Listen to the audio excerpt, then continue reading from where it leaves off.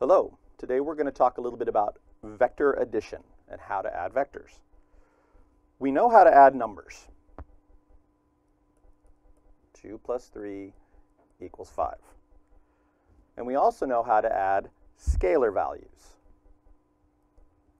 2 hours plus 3 minutes are two scalar values that we have to do a little bit of conversion in order to add them first. For example, we can convert our hours into minutes, noting that there are 60 minutes in one hour, canceling, canceling, and we get 120 minutes plus 3 minutes, which is 123 minutes. But even if you can add two scalar values, the resulting value may not have a useful physical meaning. For example, let's say I take my age of 47 years and my son's age of six years.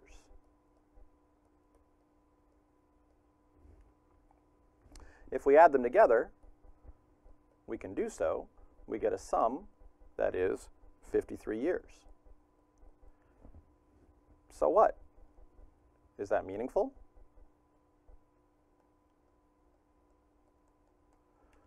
What does a number like 53 years mean when it was the ages of two people?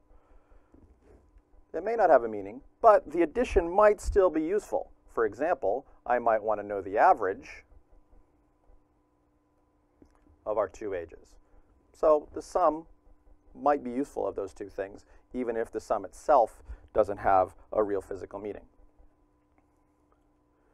Notice that the usefulness of the sum depends on the basis of the scalar values. In other words, how we defined it, i.e. the quantity, the dimension, and the entity that are being considered.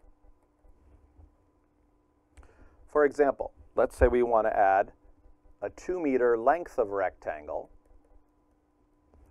to a 3 meter width of the rectangle. Well, we can definitely add 2 meters to 3 meters. That gives us 5 meters. But what is that 5 meters? Well, that 5 meters is half the perimeter. Of the rectangle. Or, they say that you can't add apples and oranges. Well, we can. Two apples plus three oranges. We can add the two and the three. We get five. But five what? Apples? No. Oranges? No. What we end up with is five fruit. So it can make sense if we play around a little bit with our basis, what our definition is. If we have different entities, apples and oranges, but we redefine them all as fruit, or if we have different dimensions, the length and the width, but then we talk about what the combination of the dimension might mean, half of the perimeter. Vector addition presumes that the vectors and the sum are all expressed in the same basis so that the components can be added individually. For example, if I have the distance along a path and the time spent along the path, I could express the first part as the first component in the vector and the second part as the second component of the vector. Perhaps that's the first leg of my trip. And then I could consider the second leg of the trip. Looks like I might be running some sort of sprint here. And if I do add them together, I can add each component. 25 and 50 is 75 meters. 30 and 55 is 85 seconds. And this final vector would represent my entire trip, as short as it was. So it's meaningful with this set of vectors, but it might not be meaningful if I add something else. For example, if my vector is age and heart rate, I might have one vector of 47 years, or one set of components of 47 years and 64 beats per minute, and a second vector of 6 years and 78 beats per minute, where the first one represents the statistics for an adult and the second one for a child. Yes, I could add those together. But when I do so, the values don't really have a meaning. Unless, of course, I again divide them to maybe find an average, or there might be some other use for those.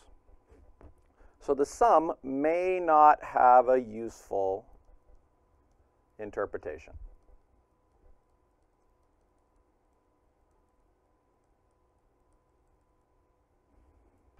For graphical vectors, components of a Cartesian basis can be added meaningfully. For example, if I have a vector that represents 3 meters east and 4 meters north, and I want to add another vector representing 1 meter east and 3 meters north, well, I can just add the components. 3 meters plus 1 meter is 4 meters, and 4 meters plus 3 meters is 7 meters, east and north, respectively. I can sort of think about this as if we were adding along a number line. If I think about going east here, and I create my basis, and I think about going north and make that perpendicular, and I add a basis. And if I start here at the origin, in the first case, I can think about going 3 meters east, one, two, three, and 4 meters north, 1, 2, 3, 4. That puts me at a location right there. Notice my scale is a little bit longer in the east direction than it is in the north direction. So there, that vector there can represent my first vector. Well, if I add the eastern parts, I can think about going one more vector unit east, and I can think about going three more vector units to the north, and consider that to be my second vector. And notice the sum in the east direction is the 3 plus the 1, whereas the sum in the northern direction is the 4 plus the 3. And if I add those together, I get the 4, let's do this in purple, 1, 2, 3, 4, plus the 7, 1, 2, 3, 4, 5, 6, 7. And there's the vector representation of the sum of those two. This leads to this head to tail representation of graphical vectors. You take each of the vectors, you start at a, some starting point, you move along until you get to the head of the first vector, then you use that as the starting point for the tail of the second vector, and you move along to the head of that vector. And then your resultant vector, the purple one here, known as the resultant, which is the sum of the two, comes from connecting the tail of the very first one to the head of the very last one. So this works in our Cartesian basis, where we have two components of uh, two basis axes that are perpendicular. However, if we try a spherical basis, or a polar basis since we're in two dimensions, notice if I take similar vectors, I could take a vector here that I'm describing, one, two, three, four, five, well, let's describe this as being 5 meters with an angle of 53 degrees. And I could decide to add it to a second vector, 1, 2, 3 meters with a magnitude of 3 meters at 72 degrees. I can still do a vector addition adding components here. If I take 5 meters and 3 meters, I get 5 plus 3 is equal to 8 meters.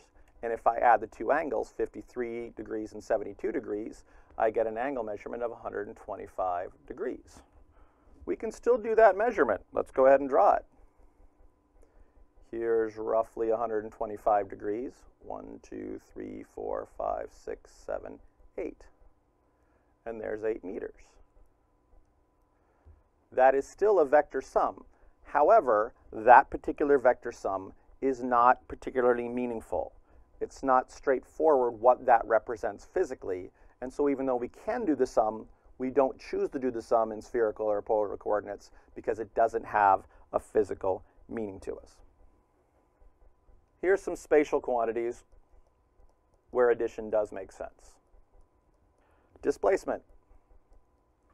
If I want to walk to some place, and then from there I walk to another place, I can talk about how much I displace myself with each of those vectors to find the resultant where I am.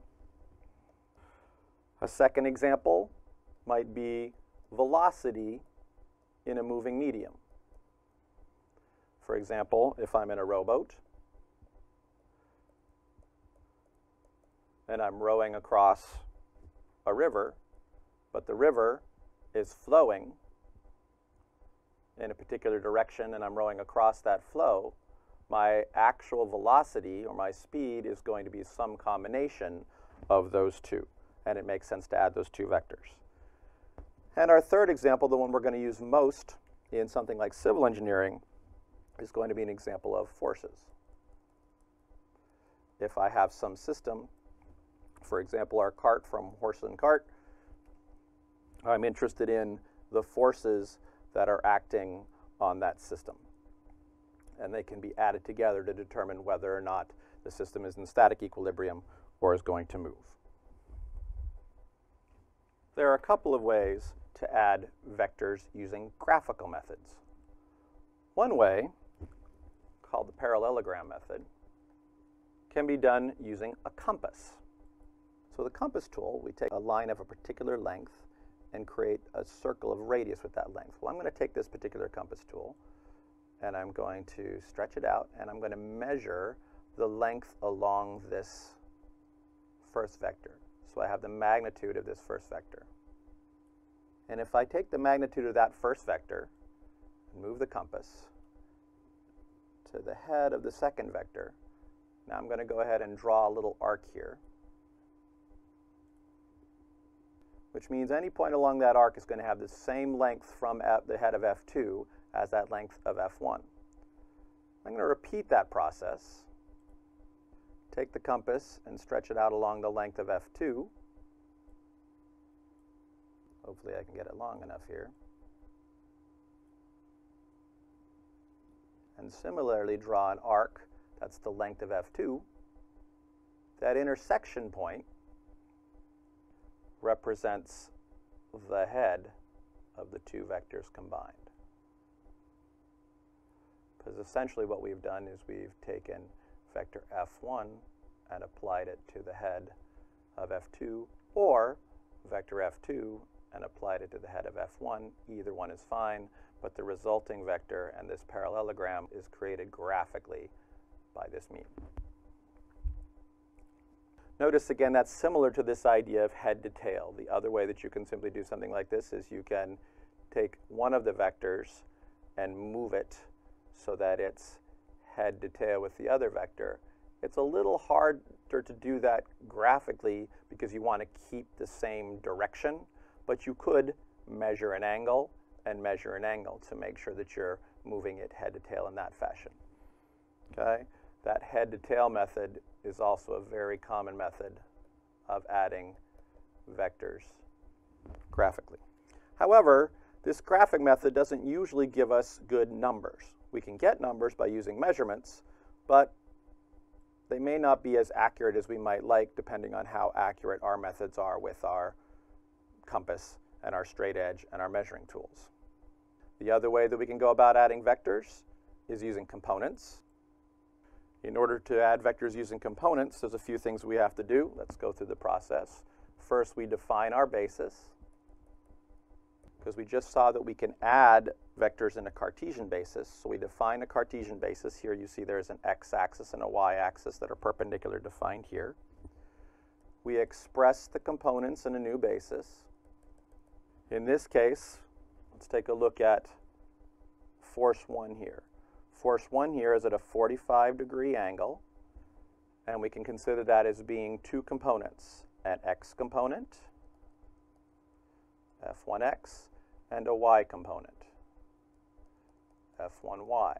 If we use a little bit of trigonometry here, we see that f1x is equal to, if force 1 is the hypotenuse, we see that f1x is equal to f1 cosine theta 1 or 50 pounds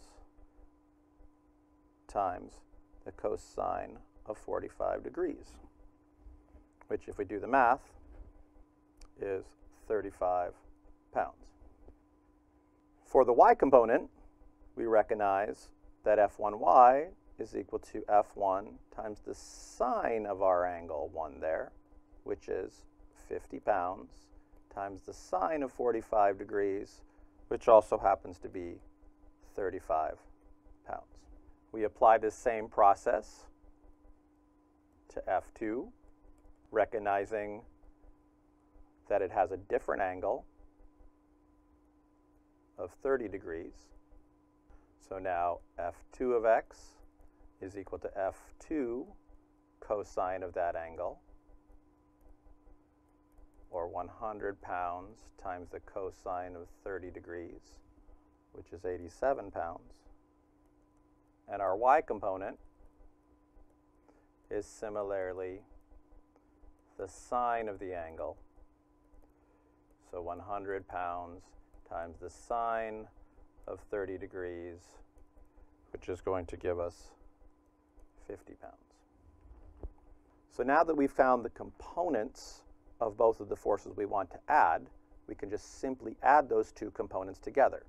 For example, the total force in the x direction is going to be equal to the 35 pounds from force 1x plus the 87 pounds from force 2x. We add the two of them together, and that's 122 total pounds in the x direction. Similarly, if we add the components in the y direction, we can find the 35 pounds contributed by force vector 1 and the 50 pounds contributed by force vector 2 for a total of 85 pounds in the y direction. Our last step here, we have found the vector here. We have both of the components, and that may be all that you want. But usually we are going to be interested in re-expressing the magnitude and direction of the resultant vector in polar or spherical coordinates. So we take our x component of 122 pounds and our y component of 85 pounds, and we recognize that they create a right triangle. So to find our resultant, our resultant force, first we use the Pythagorean theorem. f squared equals fx squared plus fy squared. So we take fx squared of 122 pounds and fy squared, 85 pounds, and we add the two together. And then we take the square root of the entire sum, and when we do so, we get a result of 149 pounds magnitude for the resultant force. We're also interested in knowing what this angle is. We'll call this angle theta. Well, we know that the tangent of that angle is equal to opposite fy over adjacent fx, which in this case, so if we take the inverse tangent of both sides there, the angle is equal to the inverse tangent of the force y over the force x, which is the 122 over the 85. In this case, that gives us 34.8 degrees. Notice we can look at this graphically in a coordinate system, and you can again see how the addition worked. Our first vector, we had an x component, and our second vector